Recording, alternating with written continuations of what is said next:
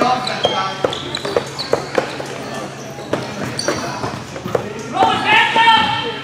it better?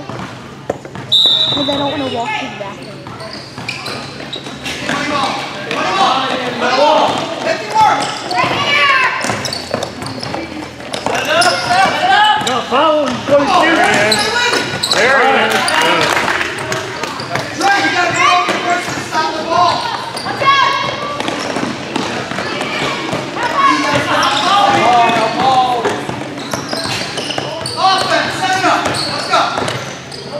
Help!